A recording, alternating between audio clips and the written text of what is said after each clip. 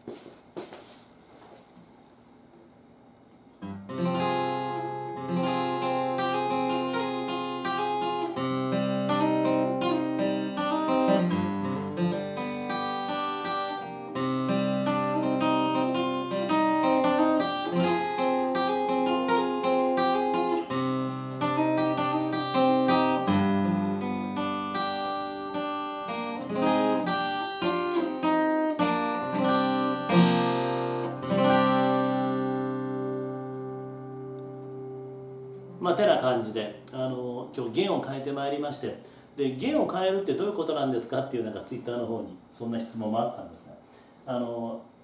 テニスのラケットのガットを張り替えるようなもんですから、まあ、そんな感じそんな感じ、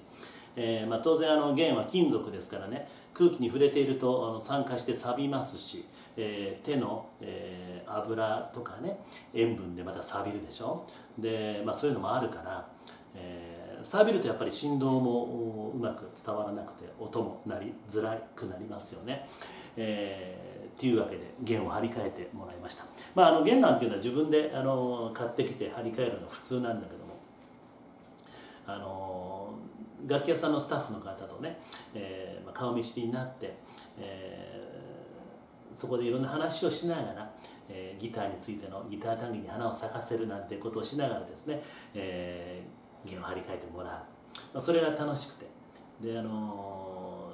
某有名楽器店。本来は弦弦の代金プラスその、えー、弦の交換の手間賃。ね、えー、もう必要なんだけどもあのもう弦の代金だけでいいですからと言ってくださるのよ。でまあそれは悪いんで何かじゃあ違ったものを必ず買って帰るのね。その度にね。今日はあの指板っていうかこの指を押さえる黒いところあるでしょ、えー、ここに塗るオイルを買ってきて。その前はギターのポリッシュラッカー塗装っていうあのギターの表面に塗装がされてるのね。そのラッカーの上から塗るポリッシュというのを買ったりということしてありがとうございました。川本さんという方でね担当が、え、本来は、え、ベーシストなんだけども左利きでレフティーでかっこいいの。左利きでギターも弾くんだ。であのマーティンのギターが好きなんでまたあのお前さん違うギター見せてくださいねなんていうふうに言ってくださって、まあ、そんなギター好きがギターの話をするためにギターの弦を持って行ってあのギターケース持ってねあの、えー、人混みのあの三宮歩くのも嫌なもんだよ本当はね。でも駐車場からあのセンター街のお店なんでそのちょっと距離があるから駐車場からね。だからそのギターを持って歩くっていうのをまあまあ目立って嫌なんだけど。そんな感じで行ってまいりました。でカズチューブ、えー、でその勢いで僕はさっき垂水まで行って、えー、またピンボケしながら、えー、スマホでね明石海峡大橋について語りました。語ったというか、えー、明石海峡大橋をご紹介しましたが、えー、カズチューブ何やっとるんやという感じですが。さて、えー、1996年の優勝の話を、えー、しました、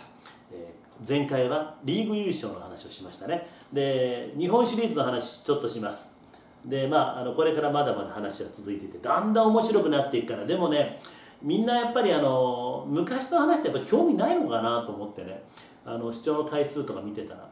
えー、意外に伸びないっていうか。まあまあいいんだけどねそれは。でまああの野球が終わればオフ12月1月はいろんなことを僕は考えておりますんで、えー、こんなことやってほしいなんていうのがありましたらまた、えー、あのご期待に添えるかどうか別として、えー、皆様からの企画などを募集していますのでよろしくお願いします。あのできるかどうかわからないし僕がやる気になるかどうか分かりませんがもし何かあれば教えてください。で、えー、1996年日本シリーズ、えー、ここはまずは土曜日曜セ・リーグの、えー、ホームグラウンドから始まりました。東京ドームです。相手はジャイアンツ長島ジャイアンツです。えー、扇オリックス対長島ジャイアンツ、えー、前年に、うん、かなわなかった日本一、という宿題を、え、しっかりと果たすべくというところでの日本シリーズでね、えー、で僕はその時どんな担当していたかというと球場の映像の演出音楽の演出うんであと、まあ、イベント系のものであとこの出版物というのをやっていたのよ。でその時の出版物っていうのは、まあ、あの大きなものとしては月刊ブルーサンダーとイヤーブック。ね。でこれのまあ記事を僕が書いていたライターとして。で当然そのブルーサンダーとしては月刊ブルーサンダーとしては特集は日本シリーズだよね。だから日本シリーズを、えー、書くのよ、ね、書くのは、うん、いいんだけどまあ僕の仕事なんでね。で、まあ、編集長が僕よりも2つ上の女性の方だった。キクさん。でキクさんが編集長でね「お前ちゃん、えー、原稿書いてな」まあまあ似てるんですこれ。原稿書いてな。私なあのー、えー、1戦目2戦目東京ドーム行くから、えー、行ってくるわ。編集長ですから。東京ドームに行く。まあいいでしょう。で僕は？記事を書く。僕は？って聞いたら「おばちゃん、あのテレビで見といて 」ちょっと待って。記事書くの僕やし、えー、記事書く人がテレビで見て記事を書くの？っていうふうにその時に僕はなんか矛盾を感じましてね、えー、編集長ですから菊さんが偉いわけよ。菊さんの言うことは絶対なんだけども。でもちょっとこう腑に落ちないところがあってね。お前じゃあテレビで見て記事書いてくれる？私は東京ドーム行ってくるから。まあ、編集長が東京ドームに行くのは分かる。でライターの僕がなんでテレビを見て記事を書かないといけないのかって思ったわけよ。で、えー、ちょっと待てと、まあ、編集長そういうんだからまあ従わないといけないんだけども。気持ちとしてなんか僕もでもちょっとどうせ記事書くんだったら東京ドームまで行って生で見て記事を書きたいなと思ったわけ。でねででよ、えーちょっと飛び越えて偉いさんよ。役員球団の役員の方に村山さんって方いつも僕のこの話に出てくる、まあ、僕の上司の時間長かったんで村山さん僕はあのテレビ見て記事書けって言われたんですけどって「おおそうか頑張って書けよ」いやいやそうじゃなくってあの生で見たいなと思って「ああそうか行くか。はい。あの頑張って行ってくれ」って言って。であの分かりました。会社としてそういうスタンスなんですね。分かりました。じゃあ僕は自費で自費で、えー、僕の趣味として東京ドームに行きます。ね。で往復の新幹線代と、えー、ナイトゲームなんでまあとりあえずもう初戦だけでもいいから行かせてくださいっていう話をしたの、えー、開幕戦なんでね、えー、日本シリーズの。ででまあ往復の新幹線とナイトゲームなんで終わってから、えー、東京に泊まる1泊泊まる宿泊。これはもう自分で自分で自腹できますから、あのー、中に入れるように席を一席確保してください。これだけお願いしますって役員に泣きついたの。で役員も何とか分かった。もうそれもそこまで言うんだったらそこまで言ったら分かったって言ってくださったんであ旅費もホテルも出るのかなと思ったらあのチケットだけは取ってやるって えー、ということでチケット取ってもらったの。で行ったのね。でそのチケットはねどんな席かというともう三塁側のダグアウトのすぐもう上ぐらい45列上ぐらいで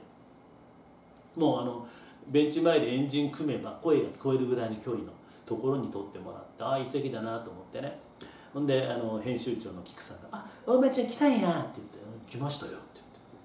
言って「頑張って書いてな」って「書きますけどね」ってっていう話で、えー、やったの。でまあ座って、まあ、お弁当でも食べようかなと思ってねついて東京ドームよ。東京ドーム5万人。もうまああのレフトスタンドと、まあ、当時オリックスの人気はすごかった。でもやっぱりジャイアンツのホーム球場ですから、まあ、その大部分がジャイアンツファンなわけね。レフトスタンドの一角と三塁側にちらほらとオリックスファンがいる。でもあの頃のオリックスってそれぐらい東京でもお客さん入ったんだよね。でそんなんであの今はでも関東の応援団すごいよね今もね。でまあその1996年日本シリーズ第1戦東京ドーム、えー、でまあ行ったらもう先発ピッチャーも発表されていてオリックスが星野信之。一方ジャイアンツが斎藤正樹というねこの両エースの、え先発で始まるというゲームで、えー、でまあ座ってそうお弁当食べようと思って。でお弁当も自前です。えー、すき焼き弁当買ってきてねあの頃は糖質制限も気にしなくてよかった。何何でも好きなもの食べられた。あの、えー、食べて。開けて一口口にパクって入れようとした。その時間帯がちょうど三塁側のベンチの前で試合前の円陣だった。でその時にちょうど僕の口を開けた瞬間口に、えー、牛肉を運ぼうとした瞬間に目があったのが高田誠誠キャッチャー。高田さんと僕が目があった。高田さんが僕に気づいて「お前さん何食べてるの?」みたいな口動いてるのよ「ご飯食べてんねん」みたいなそんな会話をね、えー、ネット越しにしながら。なんかこう緊張感ないようで緊張感実は漂ってるんだよ。で始まって、えー、オリックスがリードするのかな、えー、リードしてうん9回まで行くの。確かね、えー、星野さんもいいピッチングしてね。でチームが先に点を取るんだけども9回にね、えー、代打大森。慶応出身の左バッター大森さんがねもうセンターに同点のホームランを打つのよ。ね。土壇場でジャイアンツが追いつく。でこの時のあの東京ドームのあのどよめき。すごいね。あのやっぱあの時ってあの交流戦もなかったし。でオリックスが結構人気だったんで。どこ行ってもオリックスファンの方が多かったのね割と。96年ビジターに行ってもまあ福岡は別だけどね、えー、関東の試合行っても結構オリックスファンがいっぱいいるしで神戸はもちろんほとんどがオリックスファンなわけ。だからもうほぼ8割方ジャイアンツファン。つまり5万人のうち8割で4万人がジャイアンツファンですよ。4万ジャイアンツファンのあの歓声のすごさ。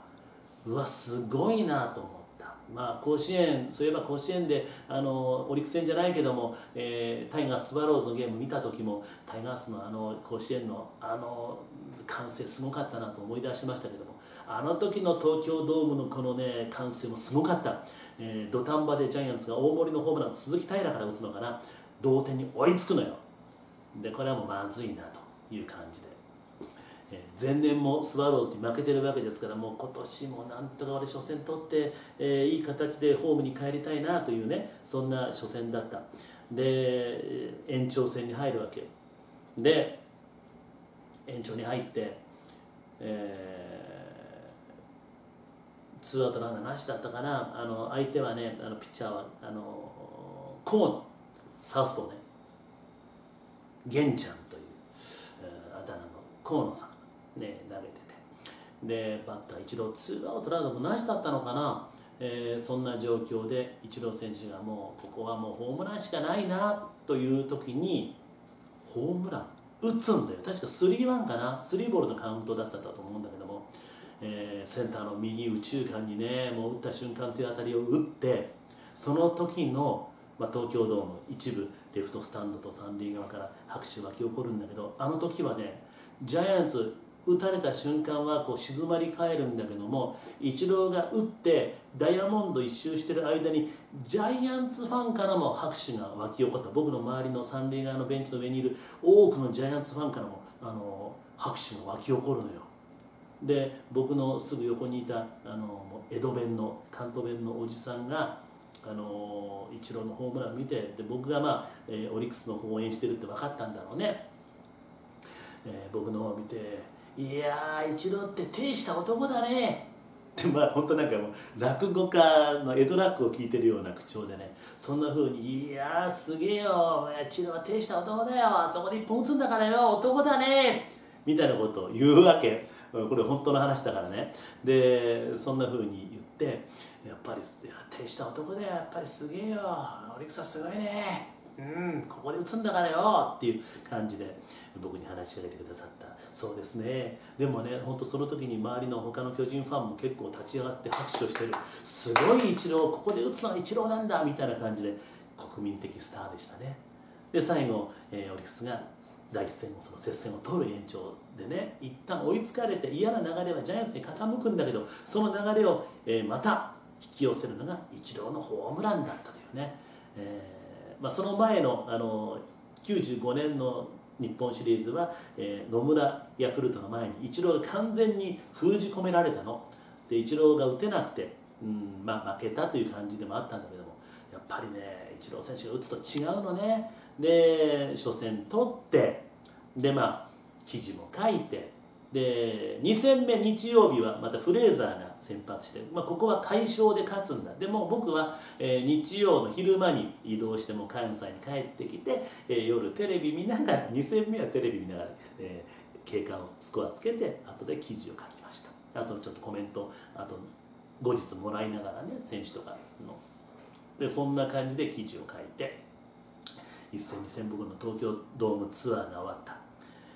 ちなみに自費ですからね交通費と宿泊費は、え、チケット代だけ村山常務に取ってもらった。ね。えー、まあそんな感じで。まあまあ、テレビ見て書けって言われたら書けるし今のネット配信のネットの記者の皆さんなんて結構テレビ見ながらさねあの記事書いてらっしゃるしあの談話とかもあの J スポーツのリポーターがあの伝えてる談話をそのまま記事にしてらっしゃるからね、まあ、時代も変わったのかなと思いながらね、あのでもやっぱり基本は現地に行って記事を書いてえいろんな声を拾ってというのが基本だと思うんでね、まあ、そういう思いながらも、え僕は編集長に「お前ちゃんテレビで見て書いてな」って言われたんで、えー、それ違うなと思って行ったというその96年の、えー、日本シリーズ巨人戦東京ドームの一幕でございました。で、えー、その後今度は神戸に帰ってくる火曜日のゲーム、まあ、そこで勝つのよねオリックスは。で3連勝で王手をかける。王手をかける。さあえー、王手をかけて。でもね、3戦目終わったでしょ？4戦目5戦目のチケットを持ってらっしゃる方もいる。理想としては5戦目の神戸の最後で優勝が決まれば一番美しいし、えー、そんなストーリーがあればいいなと思ったんだけども3連勝してしまった。でこれ4戦目どうするのかなと思ったら4戦目、えー、誰もが予想しなかったピッチャーが先発のマウンドに上がるの。大木監督がね、まあ、あの順番でいけばおそらく、えー、あそこは、え、長谷川茂俊さんが行くはずだった。ところが長谷川君じゃなくて豊田二郎さん。同じ、えー、長谷川君と同じ、えー、長谷川茂俊さんと同じ豊田姫路出身のピッチャーでね。で出てくるんだけど、まあ、その試合負けちゃうんだよね。でまあ、もちろんわざと負けるような投資起用したわけじゃないんだけども結果として負けた。そして第5戦を迎える。運命の第5戦。ただねその第4戦の負け方がちょっと嫌な感じだったの。でジャイアンツに流れが傾いていきそうな感じの中でさあ第5戦を迎える。というところでさあその第5戦のお話につきましては、えー、また、えー、次回ということでお話をしたいと思っております。今日は、え大前和樹が、え東京ドームでの第一戦に、え東京ドームに行きたかった。でも会社は生かしてくれなかった、まあ、そんな話を、えご紹介しました、え3連勝。で、え第3戦を終えて4戦目を落としてさあ3勝1敗で迎えた第5戦、えここからのお話を続いて、え続きでまた、えー改めてしたいと思います。今夜も最後までご視聴本当にありがとうございました。